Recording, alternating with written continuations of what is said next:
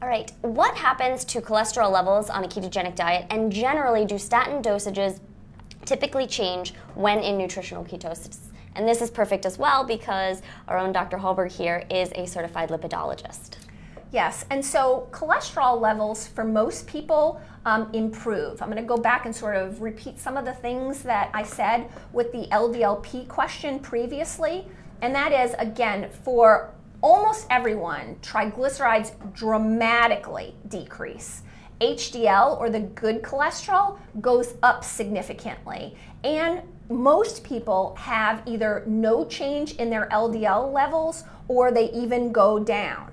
That being said, I'll just say it one more time there can be a temporary rise in LDLP or LDLC if you are losing a significant amount of weight, but that is a temporary rise. In those people, uh, again, it's not as common who do have a significant rise in their LDLP level. Um, it's something that you want to talk to your physician about.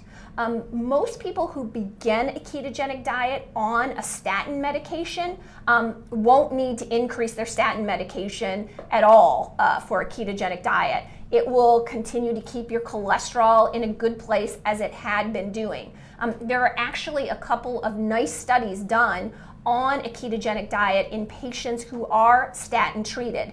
And what they find is that they don't have any disruptions in their cholesterol other than significant improvements in their triglycerides and HDL, which many studies that triglyceride HDL ratio actually has been shown to be the best cardiovascular risk predictor.